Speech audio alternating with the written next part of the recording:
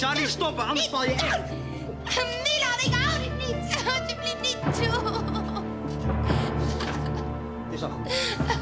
Nee, Je ligt dit veilig in je bed. Rustig. Milan! Rustig maar. Milan! Terug. Die is even een glas water voor je halen. Nee, hij moet nu komen. Milan, kom terug.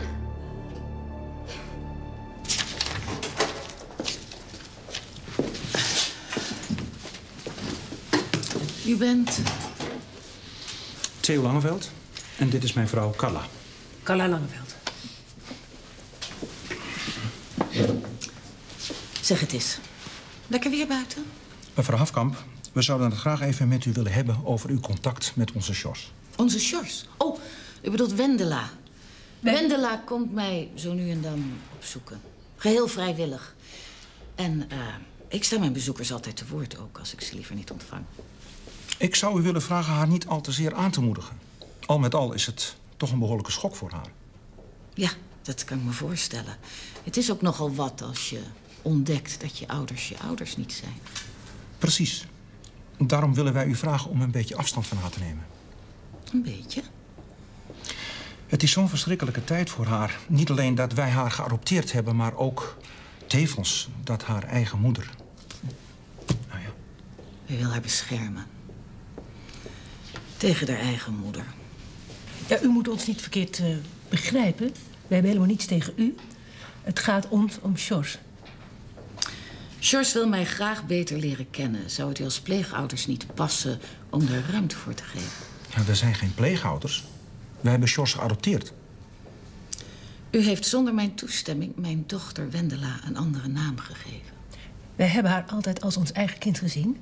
En we hebben haar met heel veel liefde grootgebracht. Dat u haar mijn brieven nooit heeft laten lezen. Was dat ook uit liefde? Ik wil mevrouw Rombout spreken. Kan ik ze even bellen? We dachten dat Jos een gelukkige jeugd zou hebben als ze niet zou weten dat u... Ondanks alles heeft Wendela mij gevonden. Daar zijn we allebei heel blij mee. Ik ben niet van plan om haar nog een keertje te verliezen. Wel thuis.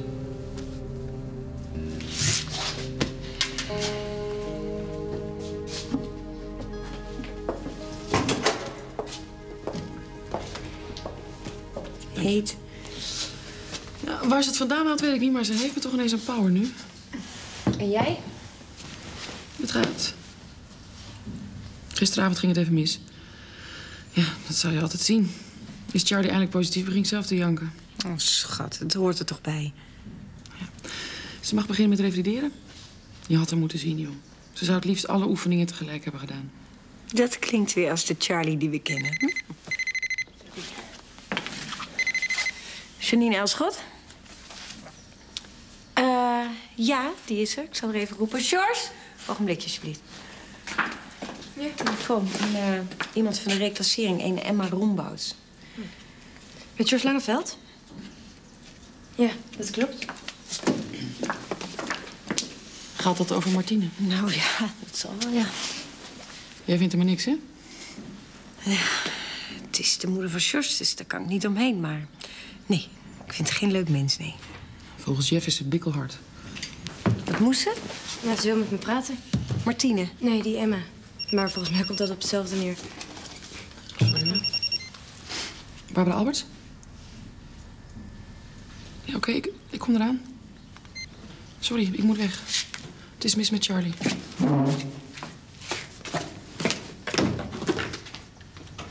Oh, wacht even. Milan. Milan moest met Charlie. Geweldig, ze kan nog steeds niet lopen.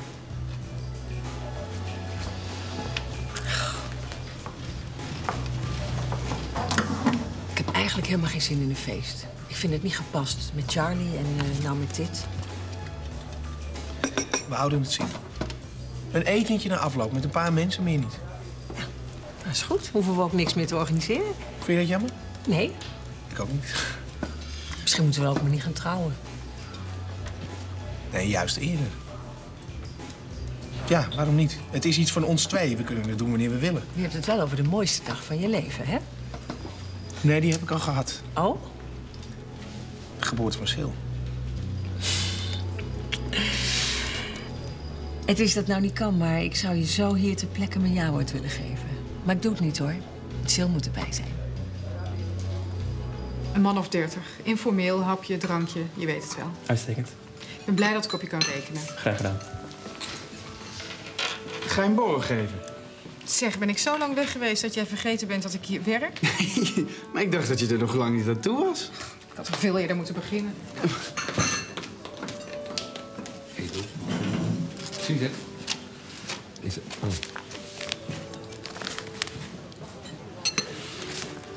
Kijk eens aan.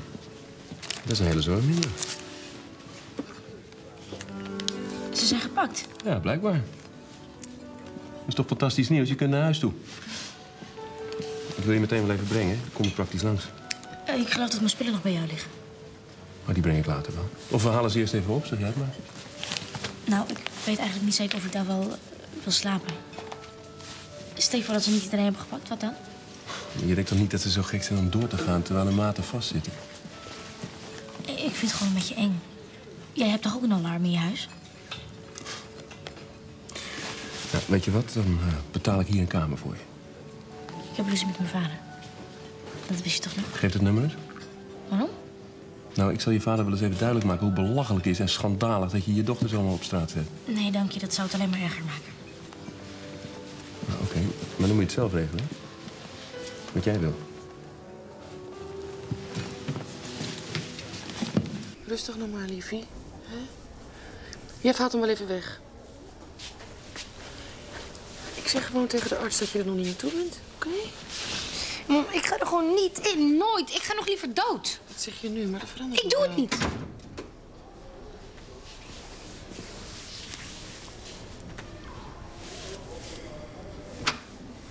Bar, kan je even komen? Je moet even een handtekening zetten eh, voor de verzekering. Kom zo terug.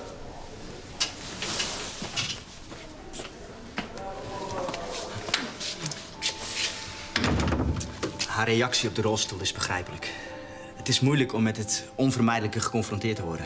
Ja, maar we kunnen er moeilijk met geweld in die rolstoel zetten. Ze gaat al over de rode als ik alleen maar over dat ding begin.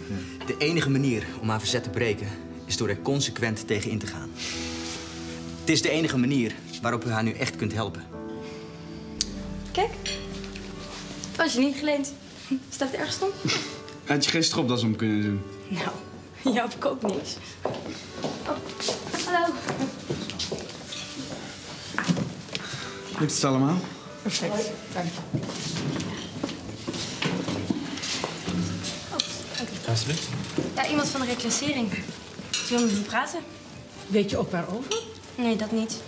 Maar ik weet ook niet of ik het wel wil. Laat je niets aanpraten, hoor. Het is haar taak om Martines belangen zo goed mogelijk te behartigen. Wat bedoelt u daarmee? Lieve schat, je weet nu wie je biologische moeder is. Misschien is het best om het dan maar bij te laten. Ze heeft helemaal niemand. En u heeft altijd een mond vol over de eenzame en de eh, verdrukte van de samenleving. Ze is niet voor niets eenzaam. We zijn vanochtend bij haar geweest en... Ja, we vonden haar nogal kiel. Dat vind ik ook niet zo gek. Ja, wat zou u doen als opeens twee wildvreemde mensen langskwamen? En alleen maar... Ja, waarom eigenlijk? We wilden weten hoe ze is. Alsof je dat na één bezoek kan beslissen. Wat denkt u nou? Dat u snikkend in de armen zou vallen? Eindelijk. Eindelijk zijn er de fantastische mensen die haar dochter al die jaren wel hebben kunnen zien.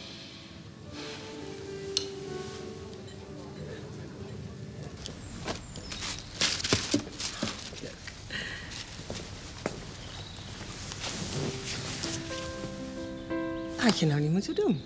Dat moet je niet zeggen. Je gaat niet elke dag trouwen. Tenminste, ik niet. Trek iets moois aan, dan gaan we. Bedoel je dat wij vandaag, nu, gaan trouwen? Ze hebben ons er nog net tussen kunnen schuiven.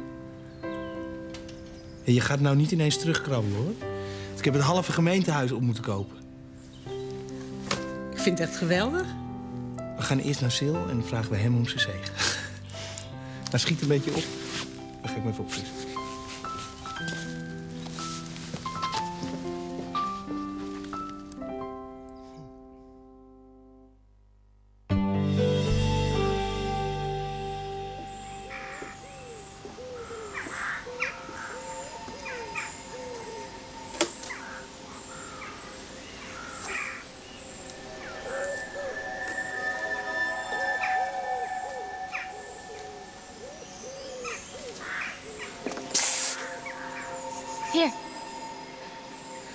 Gaat niet goed, hè?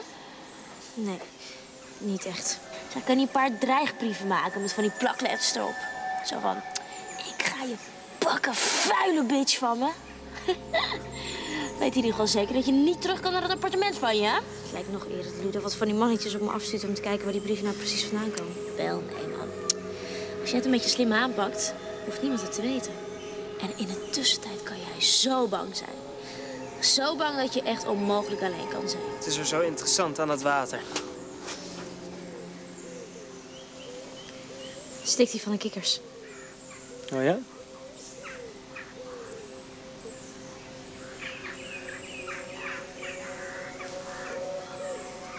Hoe is het met Charlie? Goed. Ze kan nog steeds niet lopen.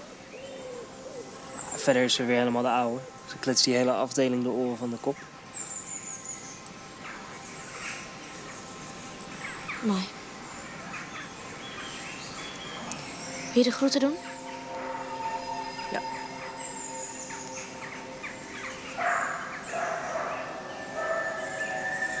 Ik moet gaan.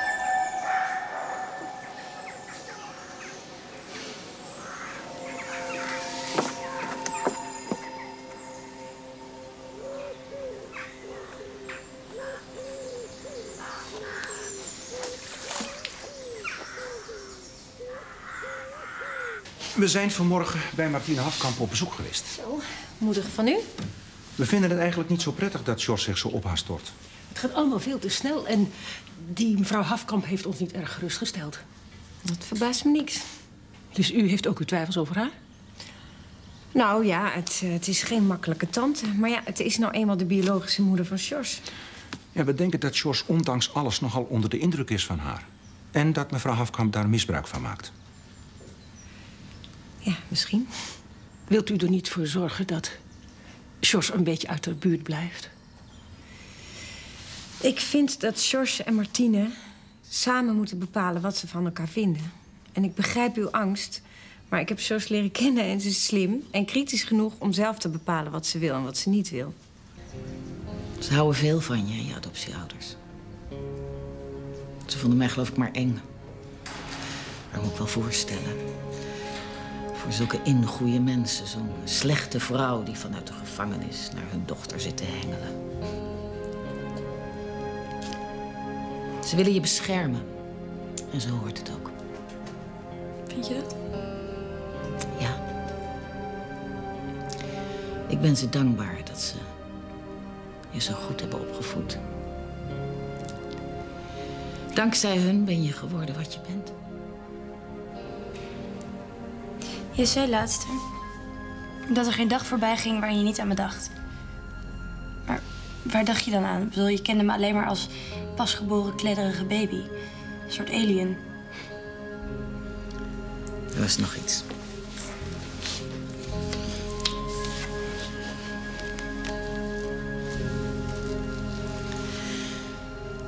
Dat heb ik altijd bij me gedragen.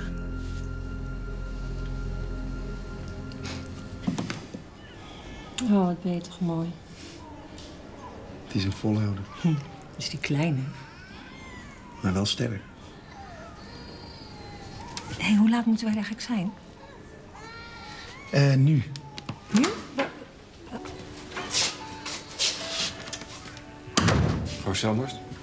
Ja? René Wildschut van de Burgerlijke Stand. Hm, Hi. Hi. Ik kom u in de echt verbinden.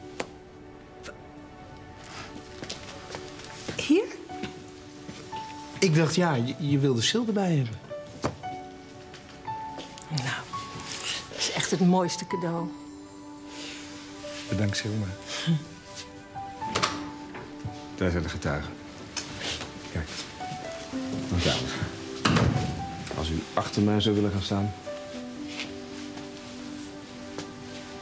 Goed. Normaal gesproken bereid ik altijd een verhaal voor. En ga ik even bij het aanstaande bruidspaar langs. Dat was eh, in dit geval natuurlijk niet mogelijk. Maar ik heb u eh, een halve minuut gadegeslagen en ik ben ervan overtuigd dat u erg veel van elkaar en van de kleine Sil houdt. Hm. We hebben van de arts maar korte tijd gekregen. Dus ik zou eigenlijk direct over willen gaan tot het stellen van de cruciale vragen. Beste heren, zijn wij eh, getrouwd. Zo is is dat. Hm. Bent u bereid? Is er iemand in deze kamer die bezwaar maakt tegen dit voorgenomen huwelijk? Geeft u elkaar de rechterhand.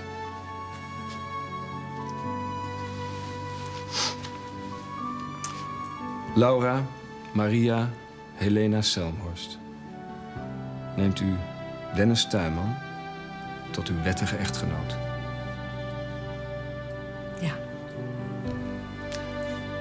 Dennis Tuinman. Neemt u tot uw wettige echtgenote. Laura Maria Helena Selmhorst. Ja. Dan verklaar ik u hierbij tot man en vrouw. U mag de bruid kussen. Oh ja.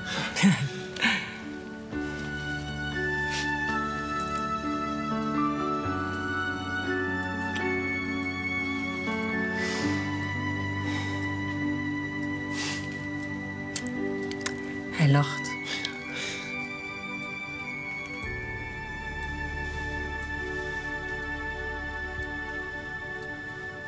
Jouw moeder zal zich behoorlijk ontheemd voelen als ze straks weer vrijkomt. Maar ze heeft toch mensen om zich te laten begeleiden? hè? U bijvoorbeeld? Precies. En het goede nieuws is dat we daar al heel snel mee willen beginnen. Mag ze er dan uit? Voor even. En als dat goed gaat, komt ze misschien eerder vrij. Alleen is daar wel iets voor nodig. Wat dan? Kan ik iets doen? Het zou fijn zijn als jij de rechter uitlegt hoe blij je bent dat je je moeder hebt gevonden. Dat het belangrijk is dat jullie nu eindelijk de tijd krijgen elkaar beter te leren kennen. Dus ik moet gewoon een goed woordje voor haar doen. Daarom zat ze zo tegen me te slijmen. Nee, nee, nee. Je moeder weet hier niets van. Ik ben alleen de mogelijkheden aan het verkennen. Jij bent heel belangrijk voor haar. Door jou is ze extra gemotiveerd om een nieuw leven op te bouwen. Ik leg je dit alleen maar voor. Je mag gerust de tijd nemen om er even over na te denken. Nee, dat hoeft niet. U kunt uw verklaring krijgen. Zeg maar wat ik moet doen. Oh, mijn beltgoed is bijna op. Zou je vanavond een nieuwe kaart mee kunnen nemen? Tuurlijk. Nog meer nodig? Nou, een paar nieuwe benen. Model Charlie. Oh, en een nieuwe dokter. En niet zo'n fluim als die Maas. Wat is er mis met Maas? Die vent die kletst maar wat. Weet je, volgens mij is hij niet eens een echte dokter. Net als in die film met Leonardo DiCaprio. Geloof me, Maas is een uitstekende arts. Niet. Mam, hoe lang lig ik hier nou al? Ik heb nog steeds pap in mijn benen. Ja, zelfs dat niet. Een beetje goede dokter had er toch al lang beweging in gekregen? Lieverd, je benen gaan niet meer bewegen. En je zou je gaan concentreren op de revalidatie, toch? D- Dat heeft toch geen enkele zin als er geen goede diagnose is gesteld? Waarom denk je dat ik die rolstoel niet inga? Liefje, je moet reëel blijven. Dat ben ik ook. En ik weet dus gewoon dat er iets niet klopt. En daarom wil ik ook dat er een andere arts naar komt kijken... die er wel echt verstand van heeft, weet je wel? Want ik, ik schiet hier gewoon helemaal niets mee op. Oké, en met een second opinion wel? Heb je er iets op tegen? Nee, maar als jij nog een keer wil horen dat je een rolstoel... Nee, het lijkt wel alsof dat jij wil dat ik een gehandicapte word.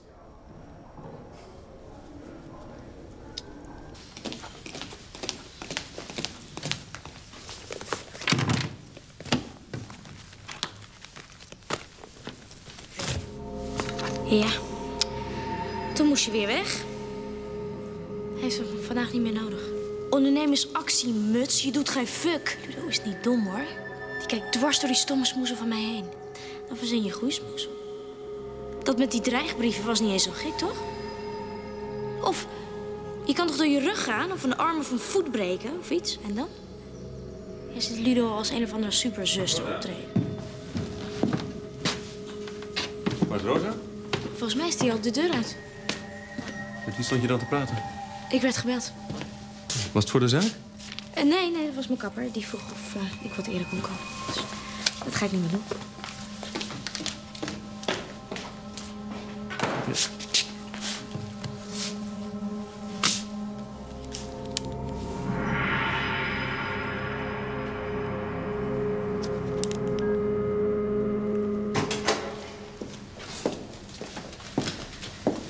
Razend populair tegenwoordig. nou, eh, niet bij de ouders van Sjors. Janine, die hebben me zelf al laten weten dat ze me uit de buurt willen houden. Ten eerste hoef jij dat dus niet te komen vertellen. Ten tweede ben ik niet van plan om me daaraan te houden. Martine, Ze is pas 16 en ze heeft altijd een hele goede band gehad met de Langevelds. Ik vraag jou alleen maar om niet te hard aan haar te trekken. Ik had al zo'n idee dat je niet voor de gezelligheid kwam. Die mensen hebben haar altijd beschouwd als haar eigen dochter. Je kunt niet van ze verlangen dat ze er zomaar loslaten. Kijk eens aan. Het lijkt wel jarig. Kennen jullie elkaar? Hallo, Janine Elschot. Oh, u had ik vanochtend aan de lijn. Emma Rombout. Oh, ja, hallo. Ik heb goed nieuws voor je. Proefverlof, volgende week. Hoe heb je dat voor elkaar gekregen? Ja, het moest er toch een keer van komen. Alleen er is één probleempje. Je moet een adres hebben. Ze willen weten waar je logeert. Dat is geen enkel punt. Dat kan bij Janine.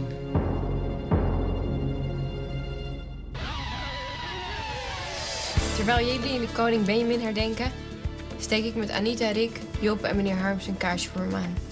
Geef je Robin een lekkere dikke knuffel van mij? Lief Daantje. Benjamin noemde meneer Harms altijd oom Govert, wist je dat? Ja, weet ik. Het zal vreselijk voor hem zijn. Schrijft ze nog meer, die uh?